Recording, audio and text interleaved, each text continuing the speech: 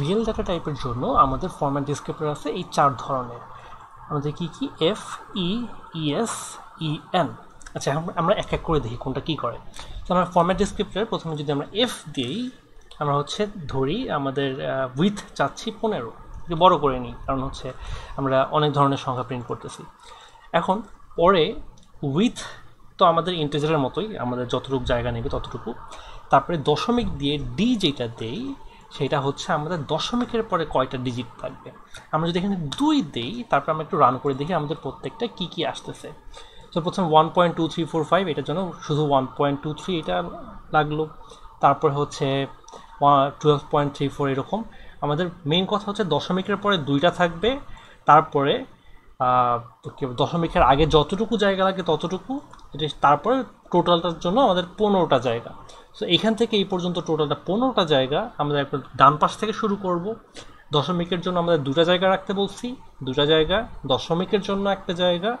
তারপর আমাদের সো আমরা তিনটা জায়গা অলরেডি ইউজ করলাম পনেরোটার মধ্যে থেকে। সো আমাদের বাকি থাকল বারোটা জায়গা। সেই বারোটা জায়গার মধ্যে থেকে আমাদের এই দশমিকের সামনে যে সংখ্যাগুলো থাকবে, ওই সংখ্যাগুলোতে ফিল হবে। সো আমাদের যদি শুধু একটাই ফিল আপ হইল বাকিগুলো স্পেস হয়ে যাবে আমাদের ইন্টেজারের মতোই। তো মেইন কথা হচ্ছে দশ আমাদের এইখানে দশমিকের পরে যেটা দিব, ওইটা হচ্ছে আমাদের দশমিক মানে যে জিনিসটা প্রিন্ট হবে, তার দশমিকের পরে কয়টা ডিজিট প্রিন্ট হবে। সো এফ কেন আমাদের। এবার আমরা চিন্তা করি ই দিয়ে কী কাজ হয়? ই দিয়ে হয় হচ্ছে আমাদের এক্সপোনেনশিয়াল ফর্ম এক্সপোনেনশিয়াল ফর্ম কি? যে যে কোনো সংখ্যাকে আমরা zero point something into ten to the power something আকারে প্রকাশ করতে পারি। যেমন ওয়ান পয়েন্ট টু থ্রি এটা মানে হচ্ছে zero point one two three into ten ten to the power one তো এরকম আমরা যদি এক্সপোনেনশিয়াল ফর্মে প্রিন্ট করে দেখি, তাহলে আমাদের প্রিন্ট হচ্ছে কীরকম করে? যে প্রথমে জিরো পয়েন্ট ওয়ান টু আমাদের সবগুলোই কিন্তু আমাদের ওয়ান টু মানে ডিজিট তো সেম এই জন্য আমাদের সবগুলো জিরো পয়েন্ট ওয়ান টুই আসছে। সো এক্সপোনেনশিয়াল ফর্মের নিয়ম হচ্ছে প্রথমে জিরো পয়েন্ট থাকবেই।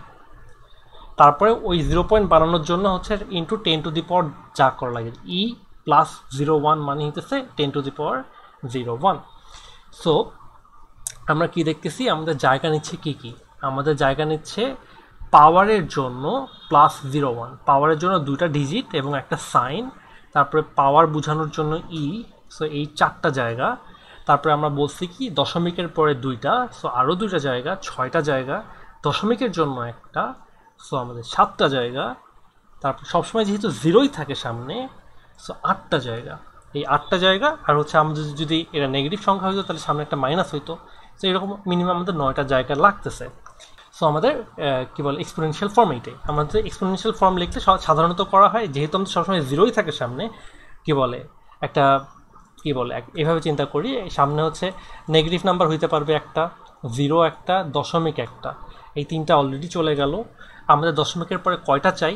ধরি আমাদের চারটা চাই। এই চারটা তাহলে হচ্ছে তিন আর চার, সাতটা গেল। তারপরে ই প্লাস তারপরে হচ্ছে আমাদের এক্সপোনেনশিয়াল কয়টা চাই? সো এইটা হচ্ছে আমাদের টোটাল উইথ আমরা যদি এইভাবে চিন্তা করি, এখন এক্সপোনেনশিয়াল আমাদের সবসময় কয়টা আসতেছে? এক্সপোনেনশিয়াল দুইটা আসতেছে, দুই ডিজিটের আমরা যদি এক্সপোনেনশিয়াল আরও আরও বেশি ডিজিটের চাই, তাহলে আমাদের এটা আরেকবার ই বলে দিয়ে আমাদের কয়টা এক্সপোনেনশিয়াল চাই সেটা বলে দিতে হবে। আমি যদি এখানে চার দিই, তাহলে আমাদের এক্সপোনেনশিয়ালের জন্য চারটা জায়গা থাকবে। এই যে চার ডিজিটের এক্সপোনেনশিয়াল চলে আসতেছে। তো আমাদের মেইনলি আমরা এক্সপোনেনশিয়াল এটা অপশনাল এই জন্য আমি হচ্ছে দুইটা লিখছি এখানে। তো শুধু ই উইথ আর হচ্ছে দশমিকের পরে কয়টা ডিজিট এটা বলে দেওয়া যাবে এবং এইটার সাথে আরেকবার ই দিয়ে আমাদের এক্সপোনেনশিয়ালের কয়টা ডিজিট থাকবে এটা বলে দেওয়া যাবে। আচ্ছা এটা আমাদের গেল। তারপরে ফরম্যাটটা হচ্ছে ES format so E format আর ইএস ফরম্যাট মোটামুটি একই। ই ফরম্যাটে যেমন জিরো পয়েন্ট দিয়ে শুরু হয় সব সময় ইএসএ জিরো বাদে অন্য যে কোনো একটা ডিজিট দিয়ে শুরু হয়। সো আমরা একটা এক্সাম্পল দেখি। আমরা ফরম্যাট চেঞ্জ করি নাই। ইএস যদি দেই, তাহলে আমরা দেখব হচ্ছে হ্যাঁ সবসময় এক সামনে জিরোর বদলে অন্য একটা ডিজিট দিয়ে শুরু হয়েছে। আমরা যদি অন্য একটা প্রিন্ট দিয়ে দেখি print my format zero point zero one two three আমি যদি এটা প্রিন্ট করে দেখি, তাহলে আমরা দেখব যে আমাদের প্রিন্ট হচ্ছে ওয়ান পয়েন্ট এই যে এইটা ওয়ান পয়েন্ট টু থ্রি আমি হচ্ছে একটু অন্যরকম দিই নাইন নাইন এরকম সবগুলো একই রকম লাগতেছে। আচ্ছা তাহলে আমাদের কি হইল?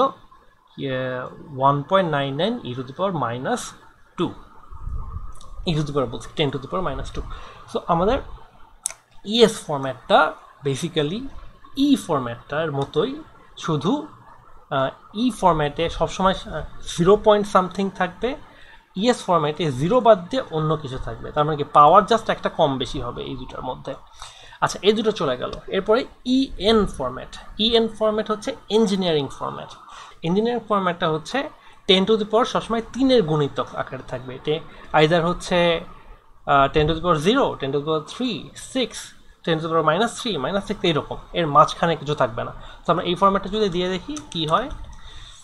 আমরা যদি এবার রান করি, তাহলে দেখতেছি যে প্রথমে জিরো প্রথম তিনটাই হচ্ছে পাওয়ার জিরো আমাদের এই হিসাবে আমাদের কি বলে, দশমিকের সামনে সংখ্যা হচ্ছে কম বেশি হচ্ছে। এরপরে একবারে, এরপরে হচ্ছে কি, এক হাজার পর্বে চলে যাচ্ছিল, এক হাজার পর্বে যাওয়া যাবে না, আমাদের তিনটা সর্বোচ্চ। সো আবার পাওয়ার বাড়ায় তিন নিয়ে গেছে। সো তিন নিয়ে গেল, আবার হচ্ছে এটা চলে আসলো। পরের তিনটা আমাদের পাওয়ার তিন থাকতেছে, পরের তিনটা আমাদের পরেগুলো আমাদের পাওয়ার সিক্স থাকতেছে। সো যে আবার নেগেটিভটার জন্য নেগেটিভ থ্রি সো আমাদের পাওয়ার সবসময় তিনের গুণিতক থাকে এই ইঞ্জিনিয়ারিং ফরম্যাট এবং আমাদের রিয়েল ডেটা টাইপের জন্য কি বলে ফরম্যাট এই চারটা এফ ই ইএস ইএন এবং এই কি বলে সাথে আমাদের এক্সপোনেন্টের জন্য ডিজিট সংখ্যা যদি বলে দিতে চাই, তাহলে প্রত্যেকটার সাথেই আর একটা ই দিয়ে, এরকম আর একটা ই দিয়ে আমাদের ওই সংখ্যাটা বলে দেব। এটা হচ্ছে ইএস হোক ইএন হোক আর ই হোক, আমাদের সবসময় এক্সপোনেন্টের সংখ্যা বলার জন্য ই ইউজ করতে হয়।